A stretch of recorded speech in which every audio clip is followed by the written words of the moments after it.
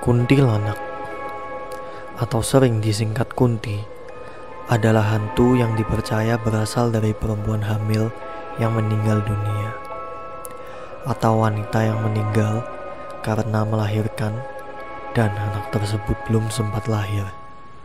Umumnya, kuntilanak digambarkan sebagai wanita cantik berambut panjang dan berbaju panjang warna putih. Dalam cerita rakyat Melayu, sosok kuntilanak digambarkan dalam bentuk wanita cantik dengan punggung berlubang. Kuntilanak digambarkan senang meneror penduduk kampung untuk menuntut balas. Kuntilanak sewaktu muncul selalu diiringi harum bunga Kamboja. Konon, laki-laki yang tidak berhati-hati bisa dibunuh sesudah kuntilanak berubah wujud menjadi penghisap darah.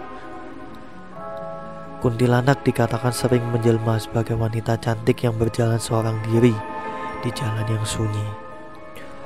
Berdasarkan kepercayaan dan tradisi masyarakat Jawa, kuntilanak tidak akan mengganggu wanita hamil bila wanita tersebut selalu membawa paku, pisau, dan gunting bila bepergian ke mana saja.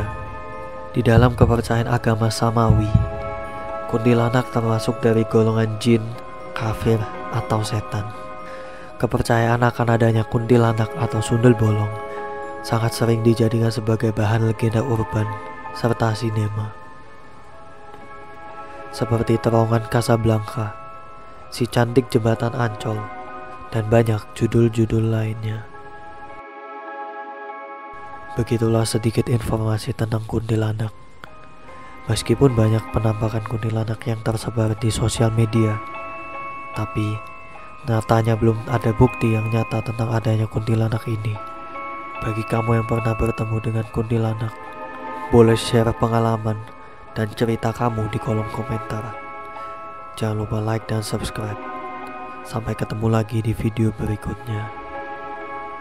Hihihi.